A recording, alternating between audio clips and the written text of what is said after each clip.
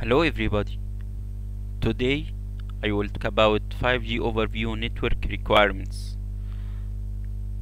Last session was about use cases and this session will be about network requirement. As you know, IMT 20 vision and inter this is the international mobile telecommunication targets for 2020 or 5G uh, vision. So IMT vision framework and the overall obje objective of the future deployment of IMT for 2020 and beyond. The capabilities of IMT 2020 are identified which aim to make IMT 2020 more flexible, reliable and secure than previous IMT. When providing diverse service in the three usage scenarios including enhanced mobile broadband and ultra reliable and low latency communication and third one massive machine type communication. Machine type communication. We have different 5G capabilities. So how many of capabilities supported at IMT and what is the key uh, requirement related to minimum technical performance of IMT 2020 for radio interface technology so today I will talk about two topics first the 5G capabilities and the minimum required. First of all, we have 13 network capabilities for 5G at vision of IMT and the focus will be for 8 network performance or KI. As you see, 1 user experience data in megabit per second second spectrum efficiency and mobility kilometer per hour latency in millisecond connection density number of devices per kilometer square and network energy efficiency area traffic capacity and peak data rate in gigabit per second. So this is the IMT 2020 each one of KPIs each one of these KPIs will have target for IMT as this number. By the way this form is called spider form.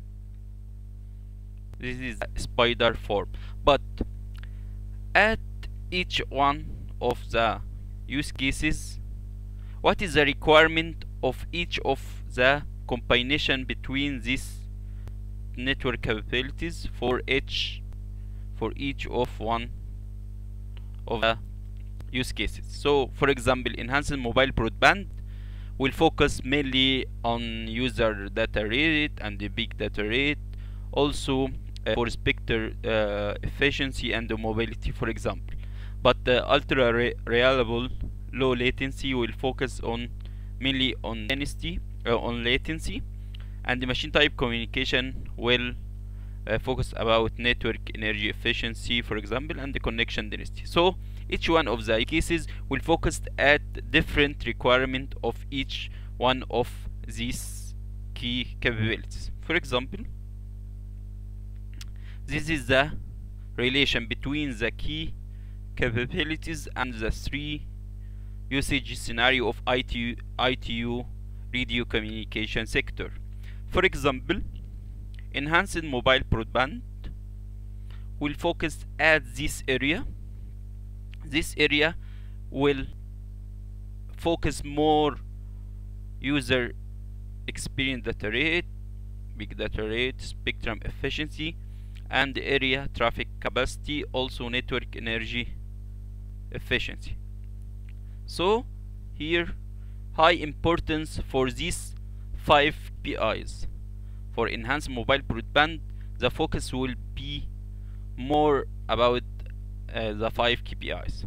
But for ultra reliable and low latency communication, mainly the focus will be more for mobility and the latency and so on for machine type communication the focus will be connection density so the 5G capabilities for IMT it's different for each one of the um, use cases and uh, sure will be different requirement for each one of these capabilities.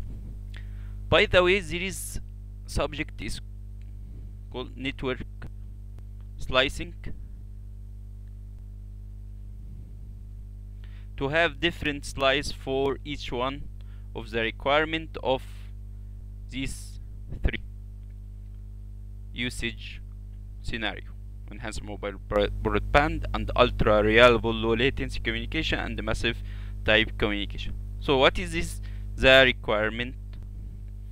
There is a technical minimum technical performance requirement for uh, the uh, ITU for example the 13.1 peak data rate peak spectral efficiency user exp experience data rate and uh, percentage uh, fifth percentile user spectral efficiency average spectral efficiency area traffic capacity user plane latency control plane latency and so on. As the next page connection density energy efficient reliability mobility mobility interruption time and bandwidth. This is 13.1 13.1 of the minimum technical performance but we will focus about 8 one of them. This is the 8 one. For example we will talk uh, about what is the peak data rate for uh, for example enhancing mobile broadband. This is the usage scenario. Uh, will be 20 gigabit per second and for uplink 10 gigabit per second. So what is the peak data rate? The definition of peak data rate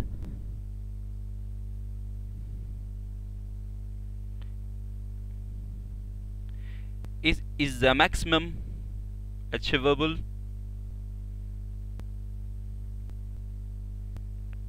data rate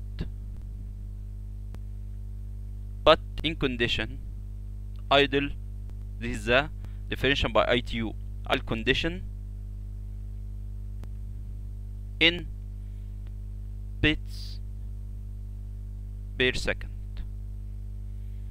So this is the official definition of the peak data rate and will be uh, when all assign assignable radio resources for the corresponding link direction are utilized excluding radio resources that are used for physical layer synchronization reference signals or pilots guard band and guard time so this will for downlink 20 gigabit per second and for uplink will be 10 gigabit per second for enhanced mobile broadband category for example.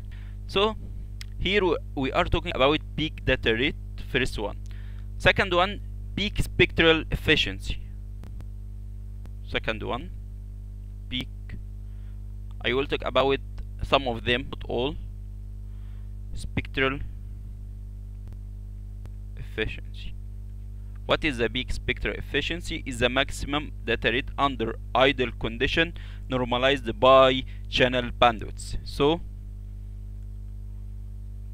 data rate peak data rate don't forget peak data rate normalized for the total bandwidth so the unit will be bits per second per hertz this way where the maximum data rate is the received data bits assuming error free conditions.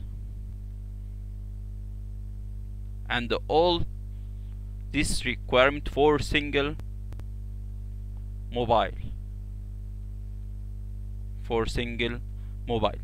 Okay? Also the all assignable radio resources for the corresponding link direction are utilized. So we will exclude don't forget to exclude the resources the radio resources for we will exclude one radio resources that are used for physical layer physical layer synchronization also reference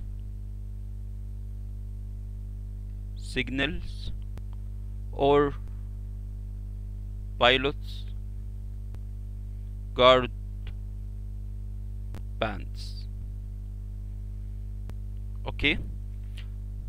Third one uh, for example we can uh, talk about we need the different okay we will talk about for example connection density.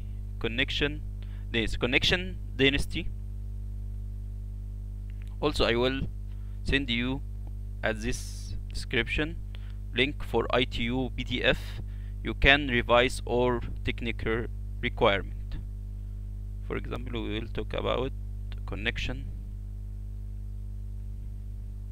density what is the connection? Density is the total number of devices fulfilling a specific quality of service per unit area.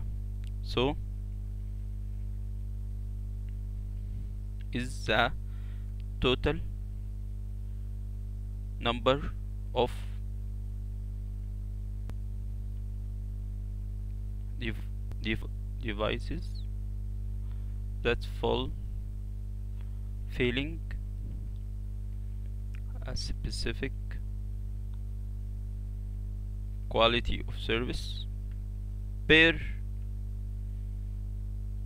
kilometer square so connection density should be achieved for a limited bandwidth for a limited bandwidth and number of TFs. The target quality of service is to support delivery of a message of a certain size within a certain time and with a certain success probability. So we need to add some condition for quality of service to delivery certain size within certain time and with certain success probability. So you can find uh, different uh, different uh, key performance. This is the minimum. I talk about 3 of the 13 and of the uh, 8 requirement and you can continue to read about them. Uh, for example uh, you can will see here some definition like uh, for uh, GE here INH it's indoor. DU dense. And RU rule for example. Okay so today I want to thank you for this video and this session. And don't forget to like and subscribe at my education channel at YouTube. And want to see you at the next video. So goodbye and good luck